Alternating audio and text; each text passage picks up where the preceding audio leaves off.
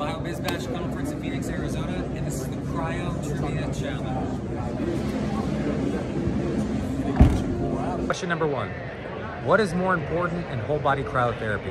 Chamber temperature or skin temperature? Skin temperature. Skin temp? Skin temperature. Skin temperature. Skin temperature. Skin temp. Skin temperature.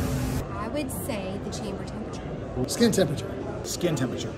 Skin temperature. Final question. If your skin temperature reaches 56.5 degrees Fahrenheit, what is your skin temperature in Celsius? Can't embarrass me.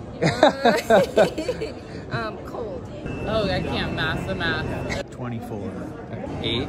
I'm gonna guess it's about 10. Good guess, it's 13.6. Is this like cash cab? Do I get a prize? Yeah, yeah. America.